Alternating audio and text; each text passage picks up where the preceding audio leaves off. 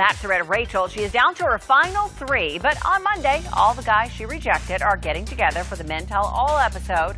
ET Online's Lauren Zima went behind the scenes of the special, and here's a preview. Oh, I would do that. How would you describe tonight specifically in a few words?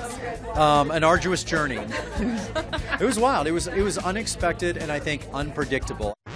The leftovers pulling no punches and speaking their minds. It's talking about playing cat and mouse, but it's like Kenny may be the mouse, but he's kind of a. It's the first time they've been able to talk after watching the season, and that's what I think is so beautiful about tonight.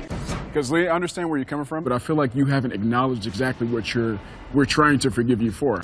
Lee specifically called out for some of his behavior. I think you're just saying I've been a bad person, but you're not acknowledging the kind of invisible racism in your mind. I like that he was responsive to it. Maybe he was giving his lip service to and apologizing, and maybe he doesn't fully realize, but I think it was a good step for him tonight. And who are you okay never seeing again? I mean, I think that's pretty obvious. Lee, Demario. You thought you could tell this girl you were ready to wife her when you were in my bed. I can't even look at you right now. Were you surprised by how Demario really threw himself into this? I thought you were going to say, Am I surprised how he threw himself under the bus?